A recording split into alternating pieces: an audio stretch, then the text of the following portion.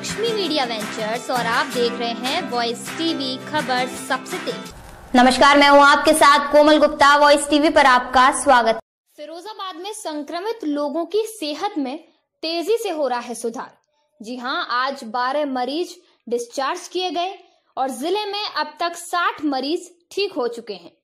170 संक्रमितों में से 60 मरीज़ स्वस्थ हुए हैं हालाँकि आज दो पॉजिटिव केस भी मिले हैं। एक हॉस्पिटल की नर्स और एक थाना रामगढ़ के कांस्टेबल शामिल हैं। राहत की बात यह है कि फिरोजाबाद में कोरोना पॉजिटिव मरीज़ बढ़ रहे हैं तेज़ी से तो सही भी हो रहे हैं। अब तक 170 कुल कोरोना पॉजिटिव मरीज़ हैं, जिसमें 60 मरीज़ सही होकर घर जा चुके हैं। अब कोरोना मरीजों की संख्या फिरोजाबाद में 100 है। बाकी सात मरीजों को दूसरी जगह रेफर किया जा चुका है। फिरोजाबाद से शेखर यादव की रिपोर्ट। शर्मा कौन है? दीपक शर्मा।